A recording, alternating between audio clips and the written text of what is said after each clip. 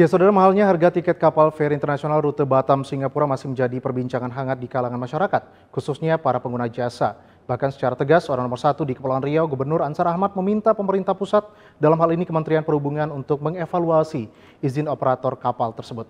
Lalu benarkah mahalnya harga tiket kapal rute Batam Singapura tersebut terdapat campur tangan kartel?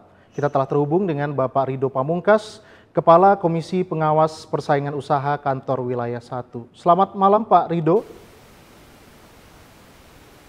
Selamat malam. Baik, Pak Rido, terima kasih sudah bergabung bersama kami Pak di Selamat Batam malam. TV. Saya dengan Robi Pak pada malam hari ini. Ya. Ya.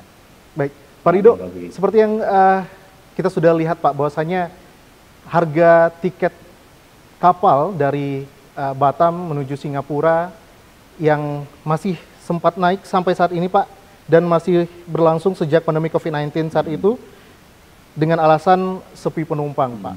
Seperti apa dari Mhm. Komisi Pengawas Persaingan Usaha Kantor Wilayah sendiri Ya. menyikapi hal ini Pak? Ya, ya. Oke, terima kasih Bang Robi. Jadi memang eh, ada lonjakan harga pasca COVID-19 ya. Dari yang awalnya itu sekitar 300 sampai 400-an, kemudian menjadi 800, meskipun terjadi sedikit penurunan 100 ribu, jadi 700 ribu, itu di awalnya. Kemudian sekarang pun bergerak terus naik lagi karena berbagai penyesuaian, termasuk adanya eh, kenaikan seaport tax yang di Batam dan di Singapura. Nah, dari sisi KPPU sendiri melihat bahwa eh, ada indikasi pengaturan harga yang dilakukan oleh operator.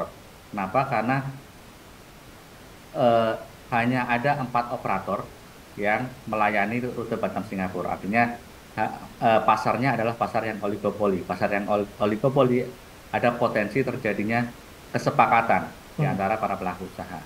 Nah, terbukti kemudian ini belum terbukti, tapi in- terindikasi ad- ada kenaikan yang secara bersamaan yang dilakukan oleh semua operator. Kalau kita cek harga di websitenya, terindikasi dengan harga yang eh, sama di antara semua operator. Padahal logika persaingan, ketika biaya produksi masing-masing operator itu berbeda, kemudian jumlah rute atau tripnya itu berbeda, jumlah armadanya berbeda, pasti akan terjadi perbedaan dalam perhitungan harga pokok produksinya. Ya. Perbedaan ini seharusnya akan menjadi insentif buat mereka bersaing Mhm. Terutama misalnya dengan mengambil margin yang sekecil-kecilnya untuk mendapatkan peluang mendapatkan pasar yang lebih besar. Tapi ini tidak terjadi karena harga yang sama semua. Ini agak ja- eh, janggal juga, Hmm. apalagi dibandingkan dengan rute yang eh, Batam Malaysia yang relatif kenaikannya tidak terlalu melonjak. Meskipun oke kita melihat bahwa kenaikan ini masih terhitung wajar karena eh, alasan jumlah penumpang atau okupansi yang masih sedikit, Mhm.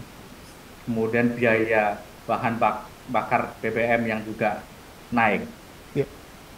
Eh, cuma yang jadi pertanyaan di kita adalah kalau seperti itu yang terjadi, tapi mereka bersaing, semestinya mereka tetap berbeda harganya, Ya. tidak sama. Dengan harga yang sama, indikasinya mereka membuat kesepakatan dan kesepakatan harga akan merujuk ke harga yang eh, semaksimal mungkin bisa di, eh, ditetapkan kepada konsumen. Baik, Pak. Nah, eh, ini kita juga melihat bahwasanya terkait dengan mahalnya harga ini, bahwasanya sampai Ya. Gubernur meminta kementerian terkait melakukan evaluasi terhadap izin dari operator ini sendiri, Pak. Sejauh mana yang sudah dilakukan, Pak? Ya, kalau memang kalau kita melihat ada empat operator ini, ini berbendera Singapura. Meskipun ada agen atau operator yang ada di eh, Batam. Ya. Cuma agen di Batam itu adalah kepanjangan tangan dari yang agen di Singapura. Nah, persoalan perizinan segala macam, ya, bisa jadi memang ah, ini yang masih sedang kita dalami. Apakah ada hambatan bagi pelaku usaha lokal atau operator berbendera Indonesia untuk masuk ke ini jalur Batam Singapura. Hmm. Dari penyelidikan yang kita lakukan memang eh, beberapa operator menyatakan atau pelaku usaha mereka belum berminat untuk masuk ke jalur Batam Singapura karena pertama masalah investasi yang cukup tinggi untuk bisa kemudian bersaing dengan operator lama incumbent. Baik. Yang kedua persoalan slot dari slot dari uh, rute penyeberangannya ini. Kan kalau dari Batam ada empat pelabuhan di Singapura dua hmm. terjadi penumpukan ini yang di Singapura ini. Ya. Slotnya semakin padat. Apakah karena masalah slot ini sehingga susah menambah lagi jumlah pesaing Hmm. Padahal kalau masuk ada pesaing dari Indonesia misalnya bisa jadi harga akan semakin mudah e, bersaing. Kemudian yang ketiga masalah perizinan tadi. Hmm. Apakah memang ada standar keamanan dan e, standar pelayanan yang di Singapura yang terlalu tinggi hmm. untuk bisa dipenuhi e, oleh pelaku usaha lokal. Ini yang juga menjadi hambatan juga untuk masuk ke pasar rute penyeberangan ferry ini. Ini yang masih dalam proses pendalaman kita dan KPPU melakukan dua pendekatan. Yeah. Yang satu pendekatan terkait dengan pe kebijakan, yang satu pendekatan dari sisi ke penegakan hukumnya.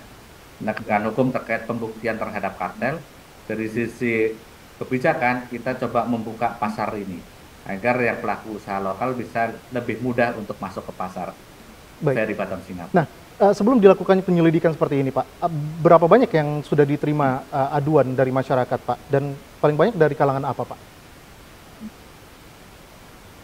Nah, terutama memang dari kalangan pelaku usaha ya, hmm. pelaku usaha ter terutama di pariwisata, karena ini yang paling terdampak dengan berkurangnya jumlah wisatawan yang masuk. Ini yang uh, masih yang paling banyak nantinya kita coba akan melakukan survei langsung rencananya ke penumpang yang ada di port-port yang ada di Batam untuk mem memastikan apakah mereka sebetulnya pertama menganggap harga ini wajar atau tidak, hmm. kemudian apakah terpengaruh e, jumlah rutinitas penyeberangannya dengan harga tiket ini. Ini untuk bisa memastikan memang permasalahannya karena dari data yang kita peroleh memang perbandingan uh, jumlah penumpang di 2019 dan 2023 ini hmm. baru sekitar 60% dari 2019 jumlah penumpang yang ada. Dan sebagian besar adalah penumpang dari luar. Yeah. Sementara penumpang domestik yang dari Batam atau dari uh, wilayah Indonesia yang keluar itu jumlahnya sangat berbeda jauh. Baik. Uh, Pak, kalau kami mendapat informasi bahwasanya uh, akan dilakukan uh, penyelidikan di Januari sampai dengan Februari. Nah, sejauh ini Pak, untuk mengungkap campur tangan kartel ini siapa saja yang sudah diperiksa oleh KPPU?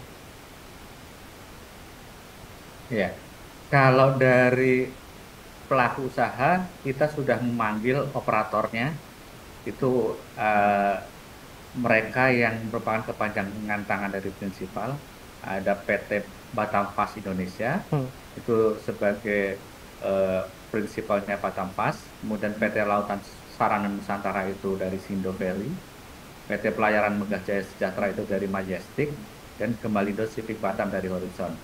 Dari informasi yang kita peroleh memang untuk persoalan harga itu ditentukan oleh prinsipal, ya.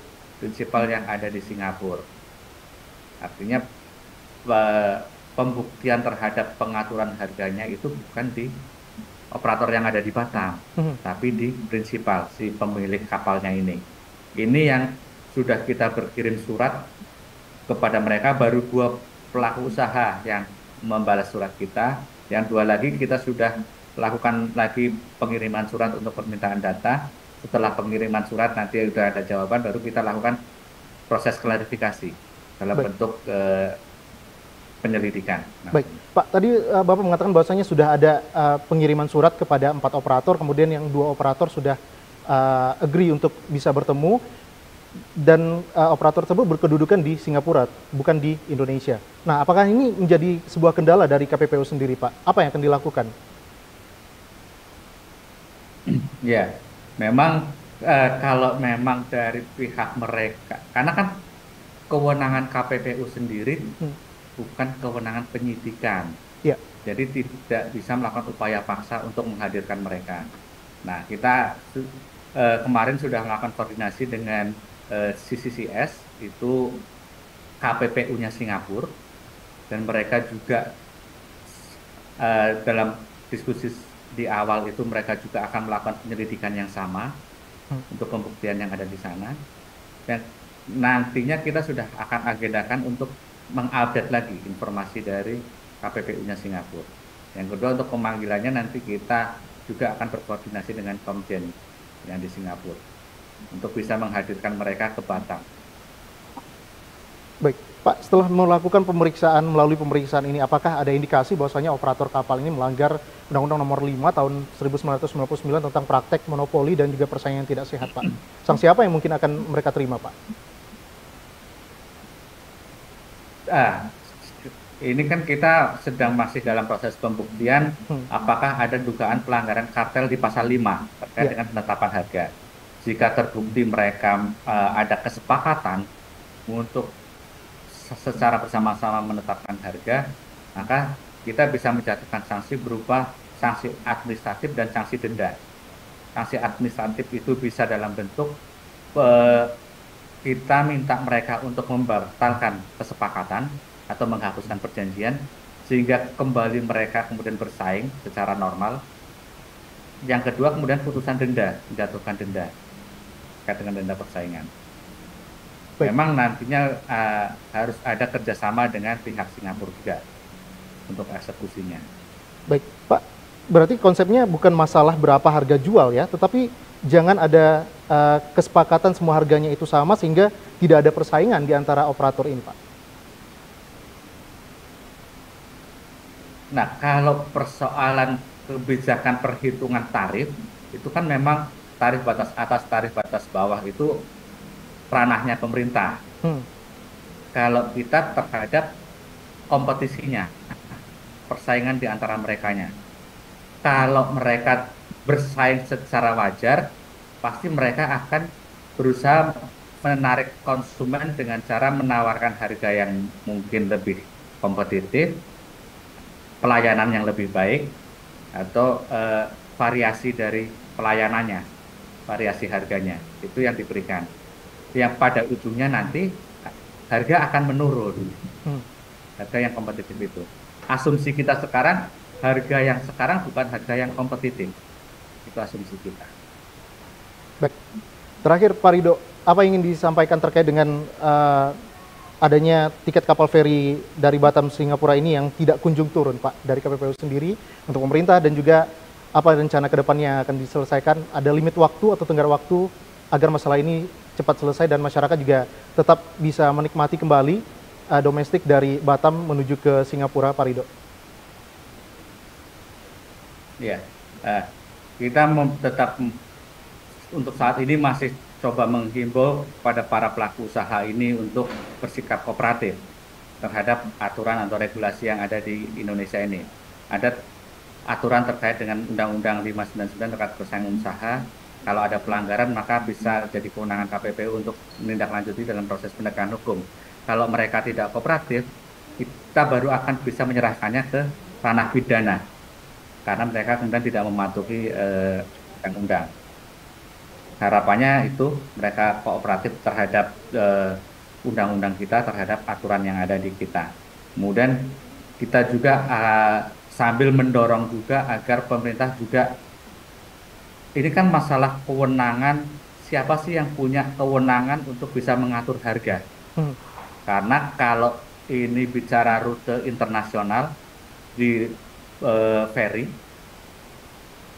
dalam FGD yang kemarin tidak ada pihak yang merasa punya dikasih kewenangan ini untuk mengatur ini. Yeah. Saat ini masih diserahkan mekanismenya pada pasar. Apakah kemudian pemerintah bisa mendorong ada terobosan untuk bisa mengatur sehingga ini tidak hanya kita bisa mempertimbangkan keuntungan bagi produsen tapi juga bagi konsumen terlindungi itu Baik. harapannya. Jadi ada dari sisi penegakan hukum bisa terbukti atau tidak, dan dari sisi kebijakan akan membuka pasar. Baik Pak Rido, terima kasih sudah bergabung bersama kami pada uh, malam hari ini. Pak Rido, Kepala Komisi Pengawas Persaingan Usaha Kantor Wilayah 1.